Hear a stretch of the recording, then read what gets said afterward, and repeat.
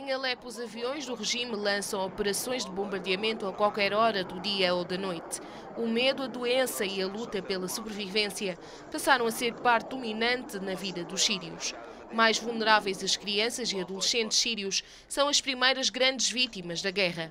A fome, a perda dos pais e irmãos, a tortura, as mutilações são alguns dos horrores que a jovem população enfrenta.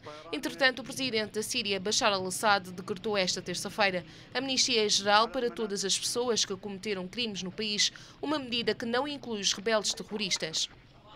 De acordo com a agência oficial SANA, o chefe de Estado promulgou um decreto de amnistia geral para todos os crimes cometidos na Síria até a data, embora excluía os delitos levados a cabo por terroristas e criminosos em fuga.